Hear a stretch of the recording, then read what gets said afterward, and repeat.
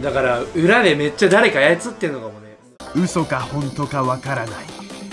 この世には明るみに出ることのない闇の噂が存在し続けている。あなたは信じきることができるだろうか。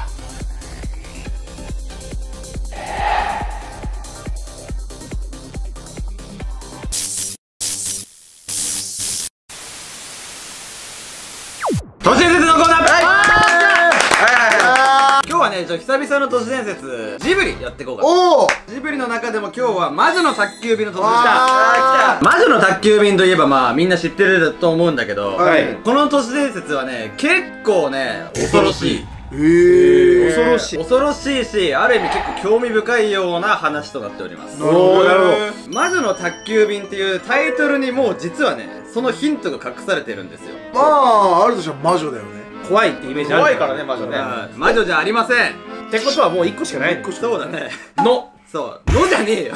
女子やるか、お前。やべえ今年一リボン面白い今のちょっと笑った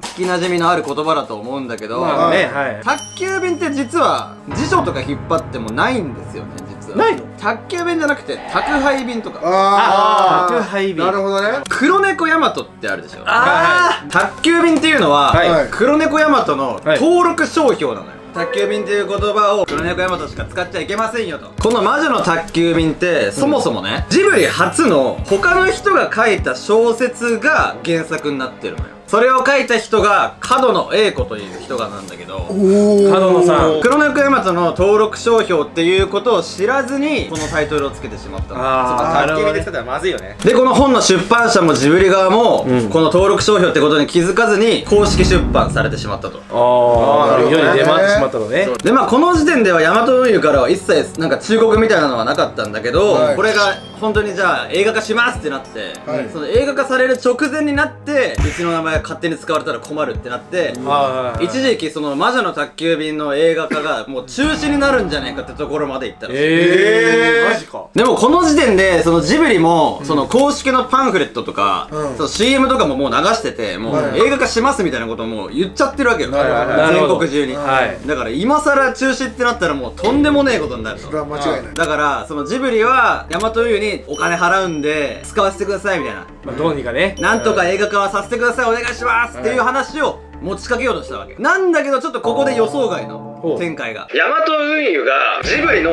スポンサーになることを提案した。ヤマト運輸がスポンサーについた証拠としてもういくつかの画像がありますんで。おそれを見ていただきましょう。こちらです。はい、はい。テレフォンカードなんだけど本当だ。下にちゃんとヤマト運輸って書いてるもうああからさまです。あからさまそうそうそうそう。そう、他にはエンドロールにヤマト運輸ってちゃんと書いてある。えー、黒猫ヤマトそのヤマト運輸がスポンサーについたことによってジブリといえばまあもう当時からすごい知名度があったよね、はい。ものすごい宣伝効果が得られて、うん。もう黒猫ヤマトの売り上げはもう一気に上がったらしい、ええそうなのでジブリもジブリ側で相乗効果でもう一気に。これあんまり知られてないんだけど、うん。魔女の宅急便って実はジブリの中で初の黒字作品それまで赤字まみれでジブリって実は、え魔女の宅急便っていうのは実はジブリの一番最後の作品になるんではないかって言われてたあまりにも赤字が続いてるからね。そこまで追い込まれてたわけ赤字すぎて、えでそんな魔女の宅急便も初の黒字になったわけ。だからまあ一応どっちもウィンウィンな状態にー、なった。ああよかったね。超ウィンウィンだよ。でもここまで行くと別にそんなね恐怖か感じないけどね。まあ確かにもう大輝の言った通り恐怖はあんまり感じないんだけど、うんはい。まあ実はこれ結構ブラックな都市伝説が隠されてるって言われております、まだえまだ？全然想像つかない。ヤマト運輸が実はもうとっくに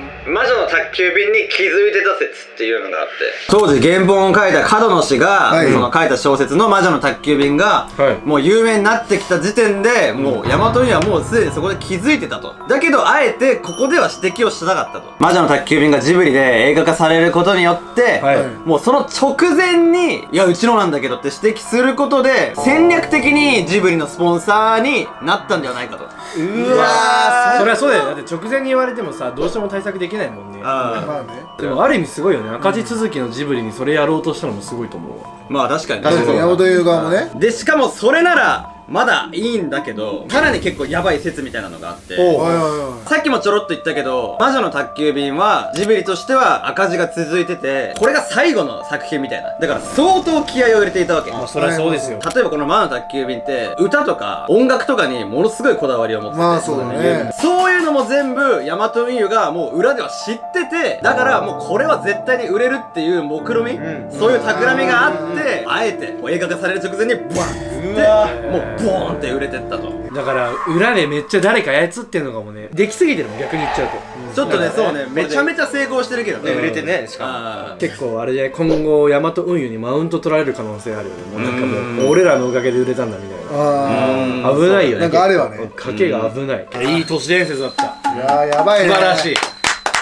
あの、あなた次第の前に手拍子で終わりに持ってくる。ごめんごめんそうだそれがあるでしょそれが毎回言ってんだろうが。あそうだそうだそうだじゃあもう言いづれよ。もうどうぞ。いやもうどうぞとか言われて言いたくねえよ。まあ現在は、そのヤマト運輸と魔女の宅急便、はい二つともめちゃめちゃ売れてて、どっちもハッピーみたいな感じで終わってるけど、俺らでは計り知れないような黒いつながりがあったのかもしれません。信じるか信じないかは、あなた次第です。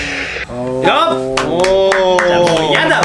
おーいや日本一じゃあもううざいって。うざいって。この都市伝説面白いなゾッとしたなと思ったらチャンネル登録と高評価よろしくお願いします。お願いします。それでは次の動画でお会いしましょう。バイバイバイビー。魔法をかけちゃうぞ